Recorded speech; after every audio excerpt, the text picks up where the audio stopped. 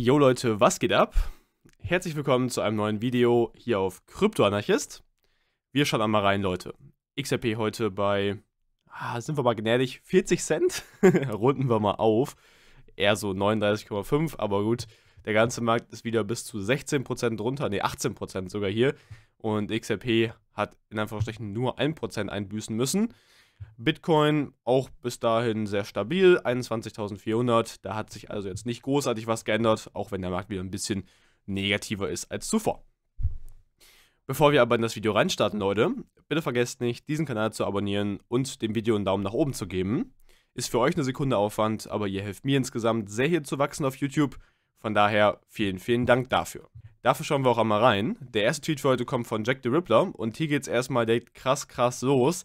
Denn der Iran und Russland arbeiten an einem neuen goldgedeckten Stablecoin.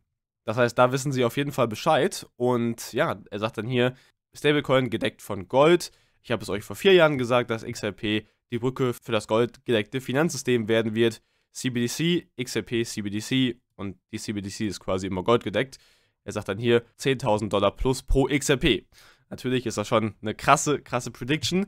Trotzdem schauen wir einmal hier in den Cointelegraph rein und sehen hier einmal den ganzen Bericht dazu. Ich muss auch sagen, dass ich das Ganze schon, also mit CBDCs und goldgedeckten Stablecoins, angesprochen habe. Ich glaube, so vor zwei Jahren, also schon recht am Anfang auch dieses ganzen Kanals hier.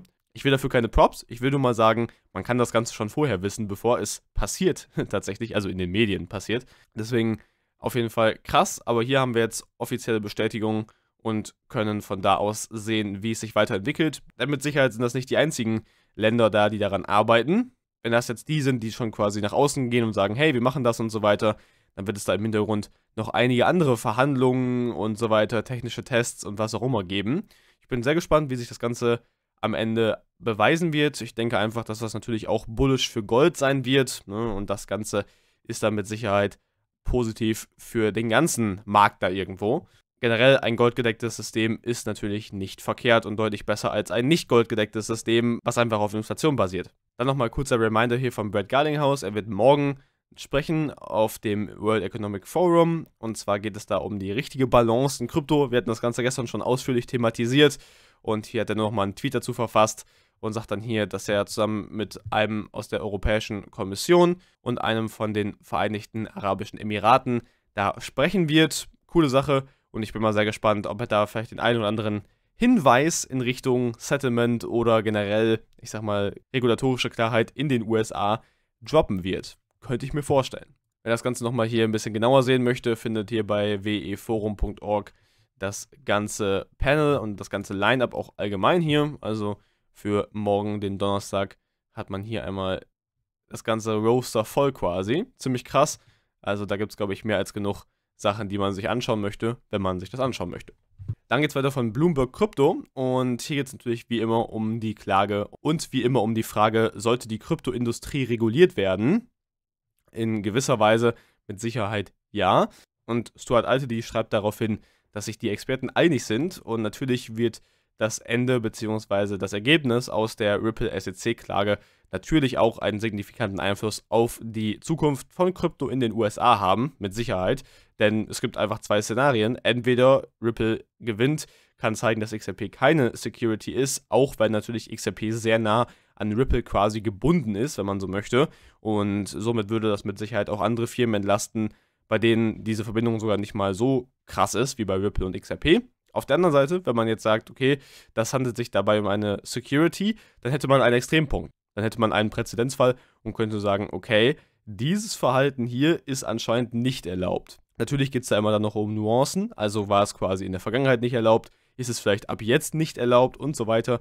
Das sind ja andere Fragen, aber ich bin trotzdem der Meinung, dass das natürlich einen signifikanten Einfluss auf den Kryptomarkt in den USA zumindest haben wird.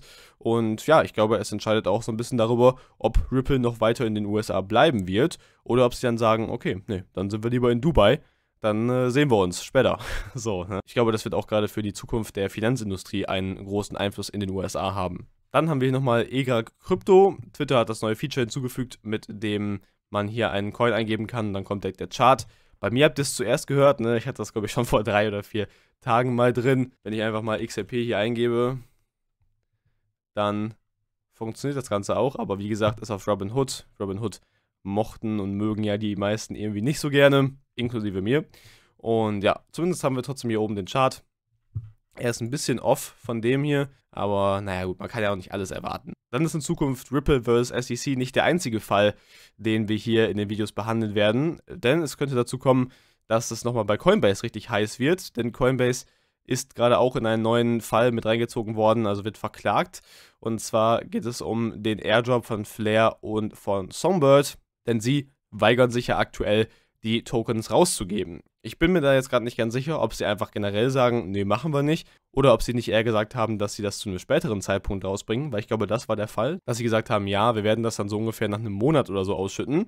Ist an sich natürlich nicht die schöne Art, ne? denn die ganzen Nutzer wollen mit Sicherheit gerne ihre Flair- und Songbird-Token jetzt schon haben. Auf der anderen Seite muss ich einfach ganz klar sagen, Leute, habt eure Coins nicht auf diesen Börsen, nicht bei Coinbase, nicht bei Binance, nicht irgendwo.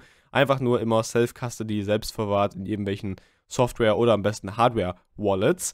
Denn dann passiert euch sowas überhaupt gar nicht. Ne? Dann habt ihr damit gar kein Problem. Dann kann Coinbase nicht kommen und euch irgendwas nicht ausbezahlen. Und wenn es dann auch nur für diese eine Minute ist. Ne? Also hätte diese Person einfach, diese XRP, zu dem Zeitpunkt einmal auf eine private Wallet gemacht und meinetwegen danach sofort wieder an Coinbase geschickt, dann würde er trotzdem das Geld auf seine private Wallet bekommen. Und das wäre mit Sicherheit in seinem Interesse. Dann müsste er jetzt nicht irgendwie vor Gericht ziehen und so weiter. Also ja, das hätte man auch ganz einfach anders haben können. Dann geht es weiter von Neil Smith und hier geht es um das australische Krypto-Exchange, das ja letztens XRP aufgenommen hat in sein Trading-Repertoire. Und ja, jetzt in kürzester Zeit ist XRP tatsächlich da schon der Top-Händler, also der Coin, der am meisten gehandelt wird sozusagen, ne, Top-Volumen. Und das ganze Krypto-Exchange wird da einfach nur von dem Volumen quasi dominiert. Natürlich eine ziemlich coole Sache und ziemlich lustig. Sie werden da mit Sicherheit gut dran verdienen. Und es geht hier eben natürlich auch um On-Demand Liquidity. Insgesamt ging es da wohl um 10,2 Millionen in 24 Stunden Volumen was natürlich weit mehr ist als alle anderen Kryptowährungen zusammen über diese Periode. Das heißt also, über dieses Volumen werden sich mit Sicherheit alle Beteiligten da freuen. Und da kann man nur sagen, hey, Glückwunsch, richtige Entscheidung getroffen. Ne? Und natürlich ist die Einführung von so einem Mechanismus und auch von so einem Coin auf dem Exchange natürlich die beste Wahl. Und ich freue mich auch so ein bisschen, dass das Ganze dann quasi auch belohnt wird und dass sie da auch dann positive Resultate sehen. Denn das bekommen mit Sicherheit auch andere Player mit. Und die werden das Ganze dann natürlich auch weitertragen, implementieren und so weiter. Die ganze Maschinerie kennt ihr. Dann geht es weiter von The Wrath of Kane Man. Und hier geht es um ein spezielles Thema.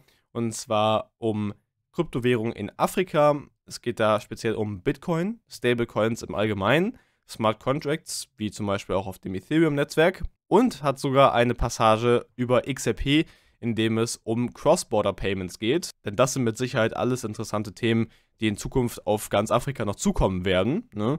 Ich meine, wir sehen natürlich auch hier in zum Beispiel Europa oder Amerika sind diese Dinge natürlich auch noch bei weitem nicht komplett entwickelt. Ne? Da müssen wir gar nicht drüber reden, dass natürlich Stablecoins und auch Smart Contracts und so weiter noch lange nicht auf dem Niveau sind, wo man das Ganze wirklich aktiv nutzen kann, enterprise-mäßig nutzen kann und da richtig neuer Wert geschaffen wird, sage ich mal. Aber man muss natürlich sagen, dass das Ganze in Afrika natürlich nochmal ein bisschen weiter zurückgestellt ist und ich bin mir sicher, in der folgenden Zeit werden wir da mit Sicherheit in Afrika und auch in Indien und so weiter einen großen Boom sehen können, was so eine Krypto-Freundlichkeit irgendwo anbetrifft. Bin ich einfach mal so der Meinung. Dann kommen wir nochmal zu einem kontroversen Thema. Ne? Also ich finde das immer ganz lustig. Ich spreche über irgendwelche Rechtsklagen, ich spreche immer irgendwie über irgendwelche Insider-Informationen und so weiter. Und das Kontroverseste, was ich mit Sicherheit heute anspreche, ist trotzdem Bitcoin-Kritik bzw. Bitcoin-Kritiker. Das Hotel Princess Ploching, äh, ich glaube, das ist so ein Hotel, was Bitcoin akzeptiert. Ich habe es nur einmal so am Rand mitbekommen. Ich bin nicht in dieser Bitcoin-Bubble so drin, aber naja, zumindest schreiben sie hier, dass man einen Bitcoin-Kritiker finden soll, der sich intensiv und mehr als 100 Stunden mit Bitcoin alleine beschäftigt hat und zu dem Schluss gekommen ist, Bitcoin ist kein Hashtag gesundes Geld. Als Belohnung bekommt man dann eine Übernachtung in der Hotlaw Suite. also das ist auf jeden Fall sehr, sehr wild.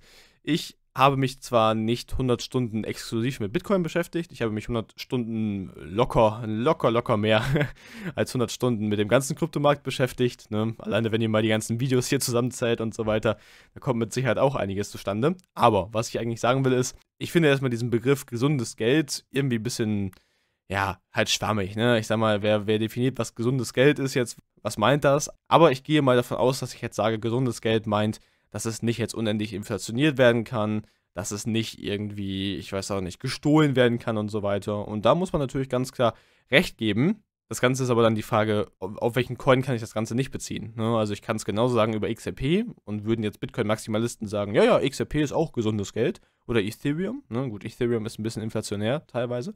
Aber insgesamt muss man sagen, dass Bitcoin dann quasi den gleichen Stellenwert meiner Meinung nach haben sollte wie andere Coins, die das gleiche irgendwo erreichen. Dr. Julian Hosp sagt dann hier, dass er sich weit mehr als 100 Stunden damit beschäftigt hat und er sieht Bitcoin nicht als gesundes Geld. Finde ich auf jeden Fall krass. Ich dachte ehrlich gesagt immer, dass er so der Bitcoin-Vorreiter ist, hier so in Europa oder also im deutschsprachigen Raum insgesamt, würde ich sagen. Ähm, ja, aber anscheinend ist er ja dann irgendwie nicht der Meinung, dass das gesundes Geld ist. Und dann, dann hat man schon die ersten Schweißperlen aus meiner Sicht von Hotel Princess gesehen. Denn anstatt einfach zu sagen, okay, du bist ja wohl der Obermac hier und wenn du sagst, das ist es nicht, dann haben wir quasi die Wette hier klar verloren, ne? Und stattdessen derailen sie und sagen sie, ja, aber was ist denn dann für dich gesundes Geld? Fiat-Währung? äh, ja, und dann sagt er nein. und dann sagen sie, gibt es dann für dich überhaupt sowas wie gesundes Geld? Und da hat er dann nicht mehr darauf geantwortet. Natürlich werden sie ihm, auch wenn er hier geschrieben hätte, er möchte gerne in diese Hodler Suite, mit Sicherheit würden sie ihm das nicht einfach so geben. Deswegen da aus meiner Sicht sehr inkonsistent. Ich weiß natürlich, was sie damit meinen, aber wenn sie schon sowas sagen und dann kommt wirklich so jemand, der sich wirklich damit befasst hat, meiner Meinung nach, dann sollte man auf jeden Fall auch sein Wort halten. Wenn ihr mir einen XRP-Kritiker findet, der sich intensiv und mehr als 100 Stunden mit XRP beschäftigt hat und dann zum Schluss gekommen ist, dass XRP kein gesundes Geld ist, dann könnt ihr mir gerne mal in die Kommentare schreiben. Belohnung ist, ich poste euch einen lustigen Spruch dann unter eurem Kommentar. Also das könnt ihr auf jeden Fall machen und ich halte auch mein Wort. dann haben wir noch xns.xrp, also den XRP Domain Service. Ist natürlich keine Werbung. Ich wollte hier nur mal sagen, am 22. Februar launcht das ganze Ding und man kann diese .xrp Domains holen. Wie gesagt, ich würde mir gerne die Kryptoanarchist.xrp Domain mal holen. Mal schauen ah, vielleicht kämen da ein paar Leute drauf und äh, ziehen mir die dann ab und wollen mir die dann teuer verkaufen. Das mache ich nicht, Leute. Da, da müsst ihr gar nicht hoffen. Und am Ende haben wir natürlich wie immer noch einen Fun-Tweet. Hier mal von CoinGraph. Und hier geht es einmal darum, wenn du deine Kryptos verkauft hast, die sich seit Jahren nicht bewegt haben und dann steigen sie plötzlich im Preis. Ja, das hat mit Sicherheit jeder schon mal erlebt, ne? So dieses, ach ja, da passiert ja gar nichts, ne? So über gefühlt zwei Jahre 10%, dann denkt man sich, ja, okay, ist zwar ein netter Profit, aber jetzt nicht die Welt, ne? gerade wenn man jetzt mit so kleineren Beträgen handelt, ne? und dann auf einmal so verkauft man dann irgendwie ein paar Wochen später, bam, der Kurs explodiert und dann auf einmal 500 Prozent, 1000 Prozent. Ja, einfach nur traurig. Trotzdem müssen wir nach vorne blicken und die ganzen Sachen sind in der Vergangenheit. Von daher habe ich mich natürlich sehr gefreut, dass ihr heute mit dabei gewesen seid.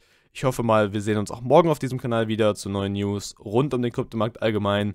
Und bis dahin schreibt mir doch mal gerne in die Kommentare, was ihr so denkt zu den ganzen Themen. Wir sehen uns heute. Haut rein. Ciao. Ciao.